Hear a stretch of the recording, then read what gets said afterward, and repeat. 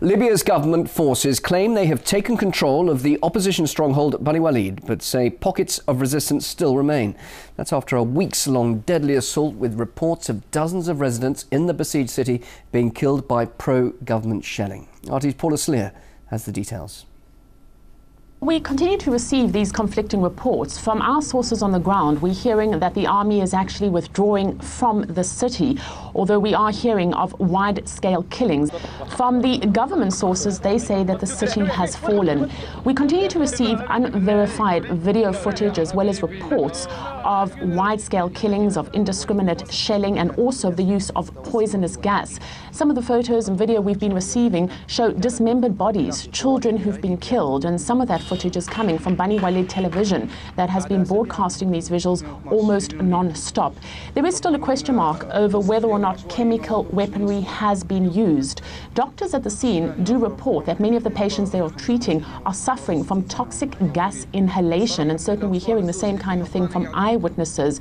But again, we are receiving unconfirmed reports that many of the shells are being fired with gas inside them. As of yet, we cannot independently verify this. The fighting's been going on now for the better part of three weeks, and in that time, all communication in and outside the city has been hampered. It took us several days to make contact with people inside the besieged city. They told us that these army forces were manning all the entrances and exits to and from Bani Walid. This despite the fact that thousands of people have fled to neighboring sites and refugee camps. We have managed to make contact with a man in Europe who's asked us to hide his identity because he is afraid for his family who are still inside Bani Walid.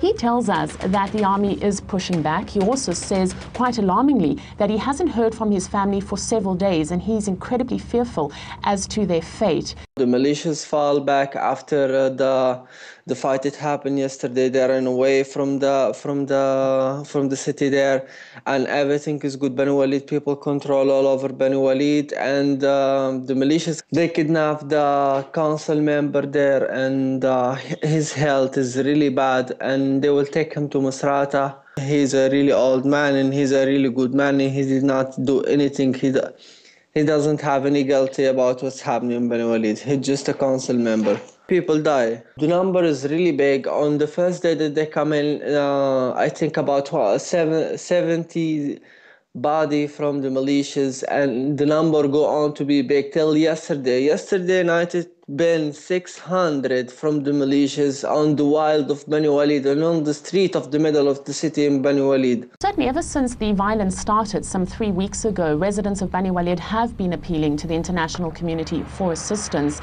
Moscow took up this call by drafting a statement that it put forward to the United Nations Security Council earlier this week, but that was blocked by the United States, prompting a response from Moscow saying that it found this odd and strange and it couldn't actually understand why such a statement had not been approved. It's also caused many in the international community to accuse both Washington and others of double standards. You need to remember it wasn't so long ago that Russia and China were blamed for voting against resolutions in Libya. And now the question is being asked well, why, when Moscow puts forward for calling for assistance in Bani Walid, is this being stopped by Washington? Paula Slier there. Well, RT's managed to make contact with an eyewitness in the city. She says militias are carrying out mass killings as civilians continue to call on the international community to help. These are not governmental forces. They're militias and armed gangsters surrounding Bani Walid without any legitimacy. The media is prohibited from reporting on what's happening in the city. The situation is horrible. Crimes are committed, communications were deliberately cut in order for these gangsters to prevent any person from communicating what's really happening. They're bulldozing houses, they're setting houses on fire, stealing everything they find. Moreover, they've committed massacres, killing as many people as they could. People here in Bani Walid want to return to their homes. They say that their city is totally destroyed. Nevertheless, they want to go back and live in the wreckage. They refuse to be driven out of the city. Secondly, they request all humanitarian organizations, including the UN, to come to Bani Walid and see the destruction for themselves and see the devastation. We need immediate aid. We need humanitarian assistance urgently. Let's get more reaction on that from journalist and author Neil Clark. He joins us from London. Well, we've just been hearing that eyewitness report. Yet there's been no international response to the fact that civilians are being killed in Bani Walid, especially from those states that backed the revolution in Libya a year ago. Why do you think that is? Isn't it interesting, Bill? Let's think back to February 2011. We couldn't pick up a newspaper in the UK or the US or put on the BBC or CNN without hearing about what was going on in Libya. The humanitarian disaster, we were told. Colonel Gaddafi's forces were killing lots of people.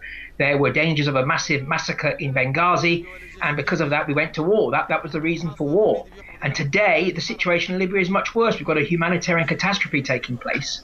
The number of people killed since NATO intervened has gone up by between 10 and 20 times.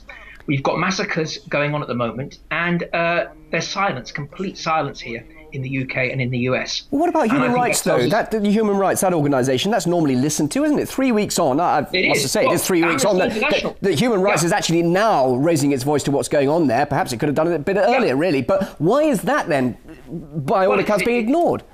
It tells us it all, doesn't it, Bill? I mean, Amnesty International has been very good on Libya. They've been talking about the number of detentions that have taken place there under the new regime.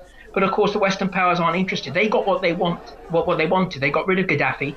They've got a pro-Western government in power now in Tripoli. They're taking control of the oil industry. There's privatizations. Western corporations are moving in, and they don't really give a toss, to be honest, about what's going on, about about the human rights abuses, the fact that demonstrations are banned throughout the country.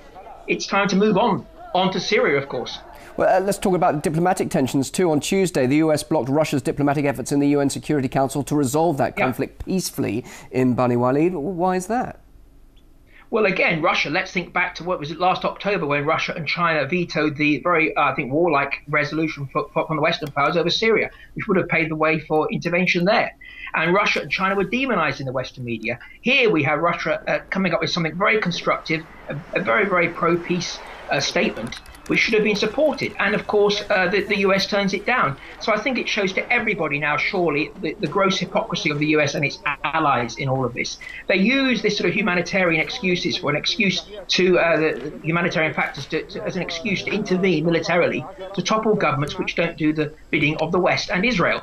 They did it in Yugoslavia in 99. They did it in Iraq, of course. They did it in Libya last year. And they're trying to do it again in Syria. But they won't be doing this in Bahrain, where there's been massive human rights abuses. They won't be doing it against Saudi Arabia, where there is no democracy, where human rights are very poor. And they won't be doing it, of course, against Israel, because, of course, we've got the situation in Gaza described as the largest prison camp in the world, I don't think we'll be hearing from Hillary Clinton or William Hague how we've got to intervene against Israel somehow. What about the suspicions that chemical weapons could have been used on civilians in the besieged city? We're getting some pretty clear evidence that perhaps that yeah. is the case. If it is true, any difference to an international reaction then surely would be stronger, wouldn't it? Well, you would think so, but I don't think so because, of course, you know, any time there is any hint that Syrian government has got chemical weapons, it's front page news. It's on all the Western news channels. But of course, RT is about the only channel that's taking up this story about chemical weapons being used here uh, at the moment in Libya. It's just not news. Chemical weapons are only news when it's an opponent of the West that that, that, that may be u- using them. That's it. When that happens, it's front page news, of course. And of course, they only have to be using them. We've got the Iraqi WMD hoax, one of the biggest conspiracy theories of all time. Saddam didn't have WMD, he didn't have those weapons, and yet it was still front page news. Journalist, author Neil Clark, joining us live there from the UK. Thank you very much indeed for your thoughts.